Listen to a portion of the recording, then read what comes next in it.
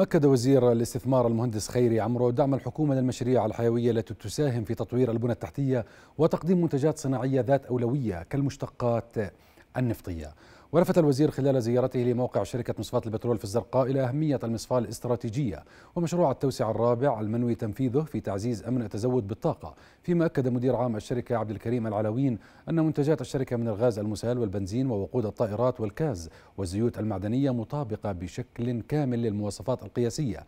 وأوضح أن الشركة تقوم بتكرير النفط السعودي بالإضافة لكميات من النفط العراقي ونحو 200 برميل يوميا من حقل حمزة.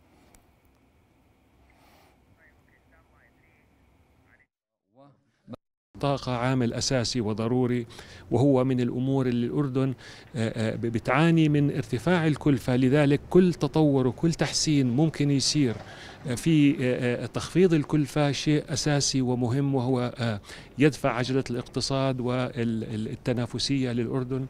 وإحنا لذلك نقف على هذا المشروع والتوسع اللي بده يصير وإحنا برأينا هذا شيء أساسي ضروري ومهم يخفض الكلفه يحسن ال ال الوضع البيئي كمان. المتوقع الانتهاء من التقييم في منتصف العام القادم. كلفة المشروع بحدود مليارين و600 مليون دولار والعائد يتراوح ما بين 13% على كمشروع و17% كعائد على المساهمة. وإن شاء الله تعالى الفوائد ستجنيها الشركة كمشروع استثماري مهم. تنعكس إيجابيا على الاقتصاد الوطني وتنعكس إيجابيا على المواطن من حيث كلفة المشتقات النفطية ومن حيث نوعية المشتقات النفطية أيضا. قال نقيب أصحاب شركات التخليص ونقل البضائع ضيف الله أبو عقول إن النقابة تلقت شكاوى حول تأخر انسياب البضائع بسبب وجود معوقات في جميع المعابر الحدودية وخصوصا في العقبة من قبل كافة الجهات المختصة والرقابية. وأضاف أنه تم طرح كافة المعوقات خلال اجتماع طارئ عقد اليوم مع مدير عام دائرة الجمارك اللواء جلال القضاء حيث وعد بعقد اجتماع بالعقبة الأسبوع المقبل مع الجهات ذات العلاقة لإيجاد الحلول المناسبة. وأكد أبو عقولي أن النقابة وشركات تخليص البضائع ستتخذ جملة من الإجراءات التصعيدية في حال لم يتم التعامل مع المطالب بشكل جدي والمباشرة فورا لحل المشاكل التي تواجه قطاع التخليص ونقل البضائع.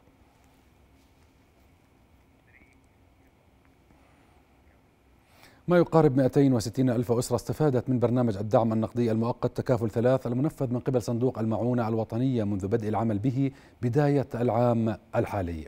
مدير عام الصندوق بالوكالة أمين عام وزارة التنمية الاجتماعية برق دمور قال إن برنامج الدعم النقدي المؤقت تكافل ثلاث البالغ كلفته 150 مليون دينار والموجه للأسر المحتاجة الأكثر تضررا من جائحة كورونا. سينتهي العمل به نهاية العام الحالي. وبين أن عدد المستفيدين من البرنامج في مرحلته الأولى بلغ 100 ألف أسرة حصلوا من خلاله على دعم نقدي لعام واحد.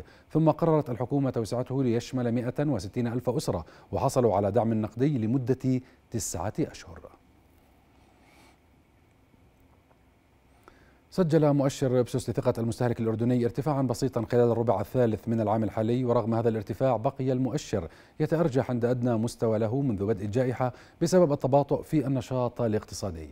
وبحسب التقرير بقيت نظرة الشعب الأردني متشائمة. حيال الوضع الاقتصادي في البلاد أو وضعهم المالي الشخصي أو قدرتهم على اتخاذ قرارات بشأن الاستثمارات طويلة الأمد فيما لم تشهد مستويات الثقة بالأمان الوظيفي أي تغير بسبب ارتفاع البطالة. وعلى صعيد آخر لم تشهد ثقة الشعب الأردني في قدرة الحكومة على تحسين المستقبل الاقتصادي للبلاد أي تطور ملموس مع تزايد المخاوف من العودة إلى تطبيق سياسات مشددة تحد من التعافي المنشود في ظل ارتفاع أعداد الإصابات. في اختتام مشروع التجارة لأجل التشغيل أعلنت المؤسسة الأردنية لتطوير المشاريع الاقتصادية المنفذة للمشروع دعم 27 شركة من الأردن عبر برنامج زيادة الصادرات من خلال التجارة الإلكترونية والأسواق الافتراضية. المشروع الممول من الوزارة الاتحادية الألمانية للتعاون الاقتصادي والتنمية والحكومة الهولندية قدم دعما بقيمة 200 ألف يورو حيث استهدف رفع القدرات التسويقية ل 30 مشروعا صغيرا ومتوسطا في القطاع الصناعي من خلال الدعم المالي والفني ودعم الإصلاحات المؤسسية لتقليل العقبات أمام الشركات. يتميز الأردن بأنه من الاقتصاديات أو من الاقتصادات المتقدمة رقميا. في الإدارة الحكومية.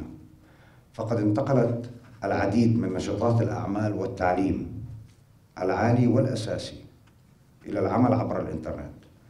كما تقوم الحكومة بتبني معظم المبادرات والسياسات التي تشجع وتدعم وتنمي الاقتصاد الرقمي إلى جانب بناء شراكة حقيقية مع القطاع الخاص والذي تقع على عاتقه المسؤولية نفسها في تطوير خدماته والبدء في التحول الرقمي. لن تقف الظروف أمام ذوي الإعاقة الراغبين بالاستمتاع بمشاهدة البتراء بعد تخصيص مركبات كهربائية صديقة للبيئة لنقلهم وأخذهم بجولات مختلفة في المدينة الوردية. يهم المقعد النمساوي رودي بمساعدة بسيطة بركوب واحدة من عشر سيارات كهربائية حلت بدلا من عربات تجرها خيول لنقل السياح في مدينة البتراء الأثرية في وسيلة نقل تساعد ذوي الإعاقة بالاستمتاع بالمدينة الوردية. السيارة الكهربائية رائعة فقد وفرت فرصة لأشخاص على كرسي متحرك لزيارة هذا المكان الرائع. أنا سعيد جدا بهذه الفرصة. وبدأت الجهات المعنية في البتراء حديثا استخدام سيارات كهربائية صديقة للبيئة في نقل السياح بدلا من الحيوانات. هذا الإجراء بإثر تجربة السائح لأنه بيكون في سيارة كهربائية مريحة. هاي الكهربائية هي صديقة للبيئة وصديقة للموقع الأثري وبالتالي بشكل غير مباشر هاي السيارات الكهربائية بتحافظ على الموقع الأثري. ومن أهم العوامل طبعا بتقلل من نسبة سوء استخدام الحيوانات اللي كانت موجودة من البعض.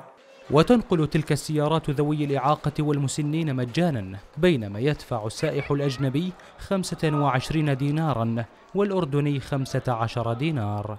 العربية كانت كانت تحمل ركاب اثنين فقط زوار اثنين. الآن هاي فيها خمس مخصصة أنها تنقل خمس زوار. من ناحية راحة للسائح أفضل خدمة أفضل. برضو لكبار السن اللي كانوا أول محرومين من أنهم ينزلوا البتراء. في الآن بإمكانهم أنهم ينزلوا للمعاقين.